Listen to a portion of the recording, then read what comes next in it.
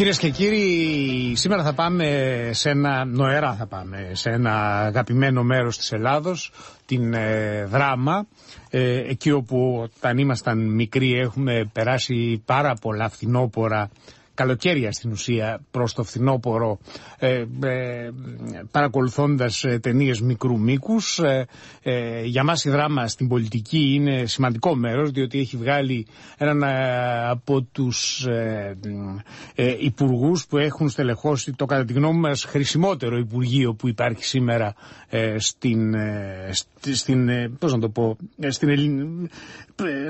το χρησιμότερο υπουργείο του ελληνικού κράτους, το Υπουργείο Μακεδονίας Θράκης. Ε, αναφέρομαι στο φίλο μου Μαργαρίτη Τζίμα, έχουμε σήμερα έναν επίγονό του.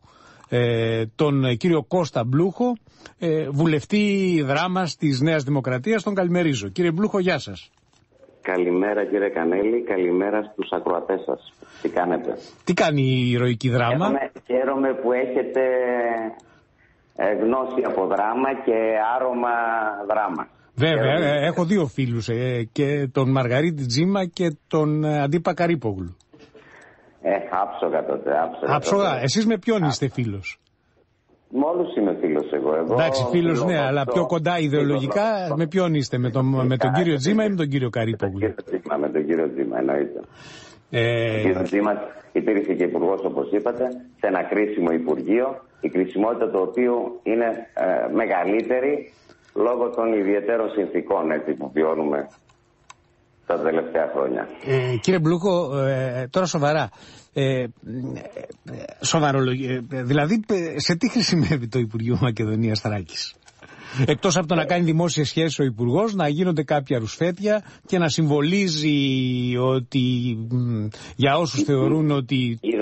για όσους μιλάνε για. Το για, ακούστε το λέτε πολύ καλά. Ε; Το λέτε πολύ καλά.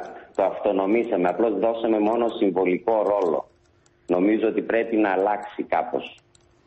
Μήπως ε, πρέπει να κλείσει; Να κλείσει, όχι.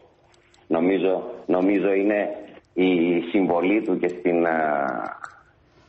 και η παρουσία του συγκεκριμένου εν Υπουργείου είναι κρίσιμη, ιδίως μετά και την πρόσφατη Συμφωνία των Πρεσπών.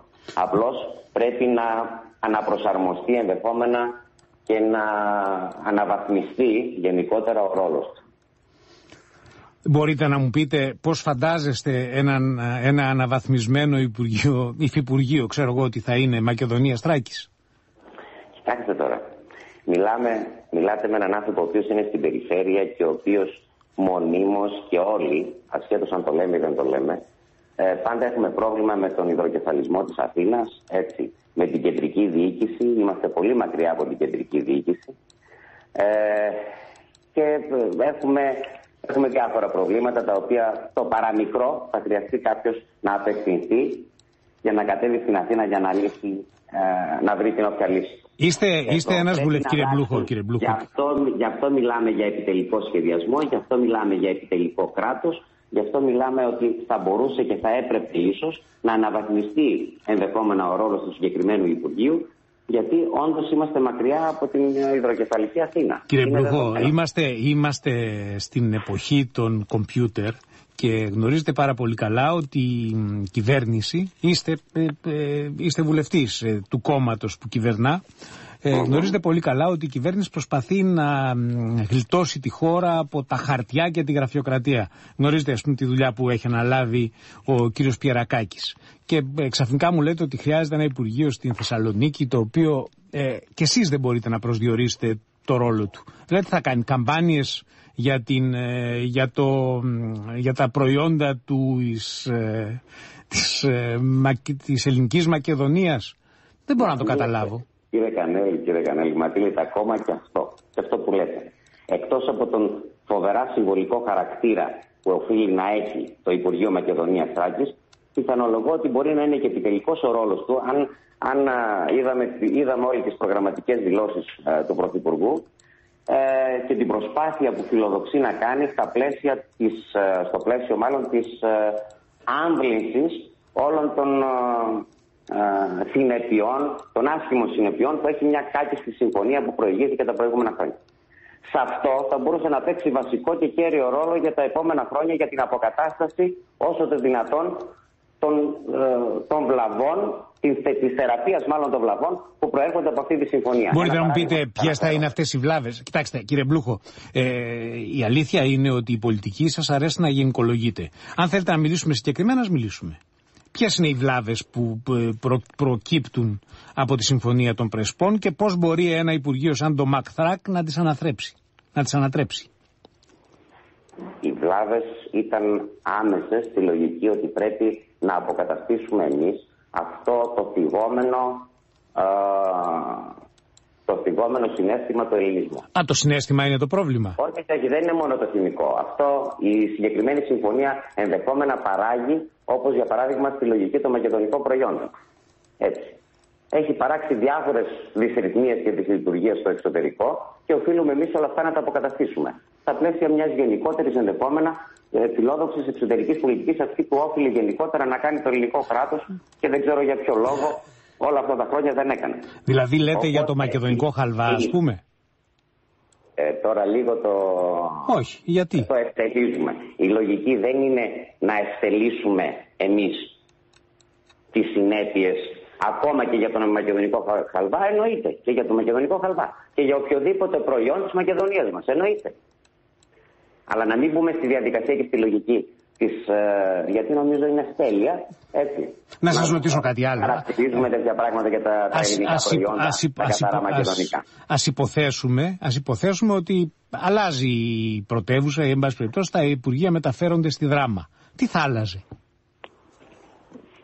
Λέει ένας φίλος τώρα, στο, μου, το στέλνει μήνυμα. Τι θα άλλαζε; Διότι ε, πολλές γενικολογίες, αλλά επί της ουσίας τι θα άλλαζε αν ε, τα Υπουργεία μεταφέρονταν εκτός Αθηνών; Αν δεν με απασχολεί εμένα αν τα Υπουργεία είναι εντός Αθηνών ή εκτός Αθηνών. Εμένα με ενδιαφέρει το Υπουργείο να έχει την, την κάθετη την, ε, ε πρόσβαση και την αμφίδρομη επικοινωνία απ' άκρη σε όλο το, ε, σε όλο το κράτος. Αυτό με ενδιαφέρει εμένα σαν πολίτη καταρχάς. Όχι σαν βουλευτή της ε, κυβερνώσεως πλειοψηφίας. Εμένα με ενδιαφέρει να μην υπάρχει απ' άκρη άκρης σε όλη την ελληνική επικράτεια να υπάρχει η δυνατότητα και αυτό φιλοδοξεί να κάνει η, λογική του επιτελικού κράτους που περάσαμε, αλλά και η λογική του συγκεκριμένου όσον αφορά την ψηφιακή πολιτική, η λογική ε, η φιλόδοξη μάλλον προσπάθεια που γίνεται, γιατί αυτά τα πράγματα... Ωραία, αλλά αυτό δεν είναι αντιφατικό. Από τη μια μεριά ζητάμε επιτελικό και αποτελεσματικό κράτος και από την άλλη μεριά ε, τα, ε, πώς να το πω, τα υπολείμματα ενός παλαιοκομματισμού σε διάφορες πόλεις. Το, το, το, το γραφείο Πρωθυπουργού, για παράδειγμα, το οποίο ο κ. Μητσοτάκης είχε απαξιώσει όταν το ίδρυσε ο κ. Τσίπρας, τι χρειάζεται να συνεχιστεί; Αυτό το πράγμα δεν είναι θέμα παλαιοκομματισμός. Αυτά ανήκανε σε άλλες εποχές και φιλοδοξεί η συγκεκριμένη κυβέρνηση με τον κύριο Μητσοτάκη να ξεκαθαρίσει το τοπίο όσον αφορά αυτόν τον παλαιοκομματισμό. Και η λογική της όποιας ανανέωσης έχει επιτευχθεί στην κοινοβουλευτική ομάδα αλλά και ε, των στελεχών που ε, καδρώνουν τη συγκεκριμένη κυβέρνηση είναι αυτή. Να απαλλαγούμε από αυτή την μικροπολιτική σκοπιά, αυτόν τον πολιτικατισμό. Η λογική του να βρίσκονται σε ακριτικές περιοχές, να σας το πω έτσι εγώ, δεδομένες υπηρεσίες που μπορεί να προσφέρουν στον πολίτη, δεν θα, θα δικαιολογούσε την παρουσία του. Να σας το πω να θέσω ένα απλό παράδειγμα. Ναι. Είναι δυνατόν όλες οι μεγάλες κλινικές και όλα τα μεγάλα κέντρα, να το θέσω έτσι, να βρίσκονται για παράδειγμα στην Αθήνα. Θα μπορούσε να βρίσκεται μια πολύ μεγάλη κλινική, ένα πολύ μεγάλο νοσοκομείο στην περιφέρεια, όπως γίνεται και παντού στον κόσμο. Δεν υπάρχει στη Θεσσαλονίκη, αυτή, δεν υπάρχουν. και στην Θεσσαλονίκη και στη Δράμα και οπουδήποτε.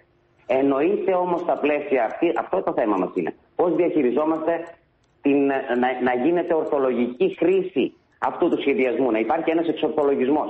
Ο εξορθολογισμός δεν σημαίνει κατά ανάγκη συγκεντρωτισμό. Η Αθήνα είναι. με συγχωρείτε, η, Αθή... η Αθήνα είναι μια, μια μητρόπολη. Ε, το μεγαλύτερο μέρος ε, του πληθυσμού ζει εδώ. Δεν σας, σας βεβαιώ, εμείς που ζούμε εδώ δεν είμαστε καθόλου χαρούμενοι για τον τρόπο με τον οποίο έχει εξελιχθεί η Μητρόπολη αυτή, αλλά τα πράγματα είναι έτσι. Και σήμερα με τις ε, αποστάσεις ε, μηδενισμένες, έχω την αίσθηση ότι αυτό που ζητάτε ε, ε, πάλι είναι ένα συμβολισμός. Το ζήτημα είναι να. Θα αρχίσουμε να μιλάμε σοβαρά, να βάζουμε τα χαρτιά κάτω, να βλέπουμε τα λεφτά που υπάρχουν και να βλέπουμε αν υπάρχει αναπτυξιακή δυναμική. Κύριε Κανέλη. Τι θα πει, δηλαδή με συγχωρείτε, πόσο. Γιατί θεωρείτε τη Θεσσαλονίκη παραμεθόριο; Δεν, δεν τη θεωρούμε. Ε, ε, η, λογική, η δική μου η λογική ναι. και στα πλαίσια πιστεύω των πολιτών της ευρύτερης περιφέρειας ναι. είναι να μην νιώθουν έτσι ότι είναι περιφέρεια. Αυτή είναι η ουσία. Να σας πω κάτι. δεν θα νιώσουν ότι είναι περιφέρεια. Ακούστε με να δείτε. Δεν θα νιώσουν αν ζουν σε μια σύγχρονη ανεπτυγμένη πόλη, χωρίς ανεργία, χωρίς. Ε, Πώς να το πω. Ε, χωρίς εξαρτήσεις ε, από ανθρώπους οι οποίοι μοιράζουν δουλειά ε, ε, η Θεσσαλονίκη με όλο το συμπάθειο κάνει ό,τι μπορεί προκειμένου να μην είναι σύγχρονη πόλη. Όλοι μας θα κάνουμε την προσπάθεια, κοιτάξτε λίγο. Οι περιφέρειες, η Θεσσαλονίκη ας πούμε, θα τη θεωρούμε και εμείς τη θεωρούμε εδώ Μητρόπολη της Μακεδονίας. Αν κάνει ή έκανε αυτά που έπρεπε και όφιλε να κάνει σαν Θεσσαλονίκη με τους εντόπιους παράγοντές της, είναι άλλο, άλλο θέμα. Το θέμα είναι συνολικά πώς βλέπουμε εμείς την προσπάθεια η περιφέρειά μας να έχει την ανάπτυξη που οφείλει να έχει, να έχει τη θέση της στην ελληνική επικράτεια, χωρίς αυτό να σημαίνει, γιατί σας είπα, μιλήσατε, ήταν κάπως αντιφατικός ο λόγος σας, και είπατε πώς κατάντησε η Αθήνα και πώς ζούμε εμείς, εμείς το ξέρουμε που ζούμε εκεί στην Αθήνα. Μα στην ουσία, για να ανασάνει και να αναζωογονηθεί και η Αθήνα και η όποια Αθήνα που είναι η Μητρόπολη μας, και έπρεπε να είναι και η Μητρόπολη του κόσμου για μένα, πολιτιστική Μητρόπολη, Όφιλε και οφείλει. Πείτε τα, πείτε τα κύριε Μπλούχο. Μα έτσι, μα αυτή είναι η λογική μας. Δεν έχουμε κάτι τώρα, δεν, δεν έχουμε κάποια αντιπαράθεση μεταξύ μας. Αυτό, αυτό για το Μητρόπολη. Αυτό για την Μητρό... λογική αυτό λέει. Αυτό για την Μητρόπολη του κόσμου. Η αστυνοπολούσα Μητρόπολη έπρεπε να είναι η Αθήνα αυτή τη στιγμή. Εκεί χάσαμε το παιχνίδι. Γιατί ο πολιτισμός και η εκπαίδευση και η παιδεία έπρεπε να είναι αυτοί που θα οδηγούν μπροστά το καράβι αυτή τη στιγμή και θα μας βγάλει από την, από την παρακμή στην οποία βρισκόμαστε. Γιατί η οικονομική κρίση, κακά τα ψέματα, είναι επιγενόμενη. Μάλιστα, και για πείτε μου τώρα. Είμαστε πώς... μια παρακμάζουσα κοινωνία. Αυτά που έχουμε στην παρέτρα μας δεν θα έχουμε εκμεταλλευτεί. Και ποια είναι αυτά, κακά τα ψέματα. Είναι αυτός ο πολιτισμός που ακτινοβολεί παγκοσμίως και εμείς δεν τον εκμεταλλευόμαστε. Είναι μια παιδεία που όφιλε να ακτινοβολεί και αυτή παγκοσμίως. Έτσι. Ε, και εμείς ε... κάνουμε τα δύνατα δυνατά για να μην να μην το πράττουμε αυτό. Δύο, μία ερώτηση. Ποιος είναι αυτός ο πολιτισμός που ε, έπρεπε να ακτινοβολεί παγκοσμίως και εμείς δεν τον προβάλλουμε; Α, είδατε τώρα κι άλλο κρίσιμο ερώτημα. Είστε πολύ εύστοχος κύριε Κανέλη και Τι να κάνω; Είστε πολύ εύστοχος και με ενθουσιάζετε. Λοιπόν, αυτός ο πολιτισμός είναι αυτός. Και δεν μιλάω, ε, ε, δεν είναι η λογική της αντιμετώπισης των πραγμάτων καθαρά με την, ε, αυτό που έχουμε καταντήσει εμείς με να μιλάμε μόνο για την παράδοση και να την έχουμε αποκόψει και εμείς όλοι στην ε, μετανεωτερική εποχή εδώ που δεν έχουμε να παράξουμε και δεν έχουμε παράγει τα τελευταία χρόνια τίποτα ουσιαστικό για τον πολιτισμό μας. Εγώ πιστεύω ότι έχουμε τη δυναμική στη συνέχεια όλων αυτού του, του πολιτισμού που έρχεται από τις ε, χιλιετίες πίσω να δώσουμε το καινούριο στίγμα μας. Αυτό απαιτείται σήμερα. Για να υπάρξει η συνέχεια του, της νεοελληνικής πραγματικότητας να δείξουμε το πολιτιστικό παρόν μας, γιατί κακά τα ψέματα, εκεί είναι το πρόβλημά μας και γι' αυτό δεν μπορούμε να ακτινοβολήσουμε αυτή τη στιγμή, γιατί είναι, είναι σαν να είμαστε ε, αδρανείς. Να σας πω κάτι, με συγχωρείτε. Μπλα μπλα. Είναι αδράνειά μας να, να ξεφύγουμε με συγχωρείτε, κύριε Μπλούχο. Τι μου δηλαδή. Τον κύριο Μπλούχο και τον όποιο Μπλούχο. Γιατί εδώ μιλάμε για τους ανθρώπους του πνεύματος, τους ανθρώπους ναι. της τέχνης, τους ανθρώπους που όλοι αυτοί δεν ξέρω για ποιο λόγο ή ενδεχόμενα γιατί δεν πιστεύω ότι δεν υπάρχουν. Εγώ πιστεύω ότι πάντα βγάζουν οι κοινωνίες και σίγουρα και εμείς έχουμε βγάλει και συνεχίζουμε να βγάζουμε. Το θέμα είναι αν τους δίνουμε εμείς τις δυνατότητες, αν υπάρχουν οι δυνατότητες, γιατί κάπου κρύβονται, κάπου είναι ευνοχισμένοι, κάπου είναι παρατημένοι στο περιθώριο. Αυτοί πρέπει να ανασυρθούν από την αφάνεια, κύριε Κανέλη, να βγουν μπροστά, να τραβήξουν τον τρόπο των.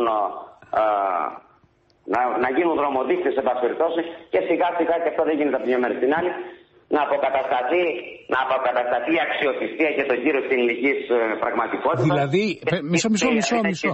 μισό. Οι παγκόσμιες πρωτεύουσες πολιτιστικές και ό,τι άλλο. Μου λέτε ότι ο πολιτισμός έχει να κάνει με, την, ε, με τους καλλιτέχνες, με την τέχνη. Α, γιατί μου το κάνετε αυτό; Δεν είπα αυτό. Τι είπατε, πείτε μου. Δεν είναι μόνο αυτό. Ο πολιτισμός είναι, είναι ε, το, το σύνολο μιας κοινωνίας. Έτσι συμμετέχει στη δημιουργία στους πολιτισμούς κατά καιρούς. Δεν συμμετείχαν επειδή υπήρχαν πέντε καλλιτέχνες, πέντε φιλόσοφοι, πέντε. Εννοείται ότι το σύνολο σύμβασα η κοινωνία συμμετέχει σε αυτή τη διαδικασία. Οπότε αυτή η προσπάθεια είναι, είναι εργόδης και, και, και μακροπρόθεσμη. Εμείς πρέπει και οφείλουμε να βγούμε από τη λογική το, τον, της ατομικής κατασφάλισής μας. Να σας πω κάτι. Λίγο, μας ανταγωνίζονται οι Αμερικάνοι, οι Κινέζοι, οι Ιαπωνέζοι. Ναι. Λέω, μας ανταγωνίζονται οι Αμερικάνοι, ας πούμε, που φτιάχνουν τα iPad και σαρώνουν ε, τις οικονομίες ή φτιάχνουν... Ακόμα και αυτό, ή... ακόμα και αυτό και εμείς θα μπορούσαμε να τα φτιάξουμε Έλατε. και εμείς θα μπορούσαμε να μπούμε στη διαδικασία. Τι λέτε, και Έλληνες επιστήμονες καταξιωμένοι είναι παντού σε όλες αυτές τις εταιρείες και παντού και κάνουν αυτά που πρέπει να κάνουν. Και γι' αυτό πιστέψαμε κάποιοι από εμάς και δεν μπήκαμε στη διαδικασία να μην χάσουμε, να παραμείνουμε στον τόπο, να μην πάμε στο εξωτερικό. Με αυτή τη λογική παραμείναμε. Γιατί πιστεύουμε ότι κάποιοι άνθρωποι μπορεί πιστεύουν σε αυτή τη λογική στο μέλλον, όπως είναι ο Κυριάκος Μητσοτάκης, έτσι και μπορούμε να ανασύρουμε κάποια πράγματα να τα βάλουμε σε τάξη και σιγά σιγά να αποκτήσει ένα βηματισμό ο τόπος. Αυτή είναι η όλη λογική. Κύριε Μπλούχο, θα, θα σας εκτιμούσα πάρα πολύ αν μου λέγατε 5-6 ονόματα προσωπικότητων που θα μπορούσαν να ανοίξουν δρόμο για το καλό της χώρας, ο καθένας στον τομέα του. Ε, νομίζω, όχι, αυτό είναι άκομψο, δεν είναι, γιατί δεν είναι 5-6, είναι άκομψο αυτό το πράγμα. Α. Και σε όλους τους φόρους υπάρχουν και το γνωρίζετε κύριε Κανέλη πάρα πολύ καλά. Απλώς εμείς δεν τους αφήνουμε και δεν τους αφήνουμε γιατί αυτό θα όφιλε να υπάρχει μια, πώς να το πω, ε, κάποια συμφωνημένα υπονοούμενα από όλους μας για να αφήσουμε κάποιους ανθρώπους να δρομολογήσουν καταστάσεις και εξελίξεις ενδεχόμενα. Μάλιστα. Έτσι. Και μιλάω για, για όλον τον, τον πολιτικό κόσμο εδώ. Κύριε Μπλούχο, σας... Εμάς έχουμε τόσα παρακμιακά που μας κατατρώγουν. Έρνα να τελειώσουν κάποια στιγμή αυτά. Μάλιστα. Κύριε Μπλούχο, σας ευχαριστώ που ήσασταν ε, μαζί μας σήμερα. Σας υπόσχομαι, ειλικρινά, μου, άρεσε πάρα πολύ αυτά, μου άρεσαν πάρα πολύ αυτά που είπαμε και σκέφτομαι ότι ξεκινάμε σαν νέα ταλέντα έτσι γίνεται φεστιβάλ δράμας, αλλά... Παρτίστε κύριε Κανέλη, σας κάνω πρόσκληση τώρα. Εσείς θα, θα γίνεται... στον αέρα, ναι. Λοιπόν, να έρθετε στο φεστιβάλ της δράμας. Να έρθετε. Είμαι, είμαι, είμαι, από αυτούς, είμαι από αυτούς που το έχουν χτίσει κύριε Μπλούχο, αλλά τώρα δυστυχώς... Θα χαρώ να σας δω από κοντά να βρείτε το χρόνο έτσι θα ήταν χαρά μας να σας φιλοξενήσουμε στην όμορφη δράμα μας, έναν ευλογημένο τόπο. Θα τα πούμε. Ε, Προαλήφεστε για μεγάλος κλασικός αυτής της εκπομπής. Θα, θα είμαστε πολύ τακτικά μαζί. Γεια σας. Ευχαριστώ πάρα πολύ. Καλά, χάρηκα πολύ. Χάρηκα πολύ. Γεια σας. Ήταν ο κύριος Κωνσταντίνος Μπλούχο, βουλευτής της Νέας Δημοκρατίας στη Δράμα.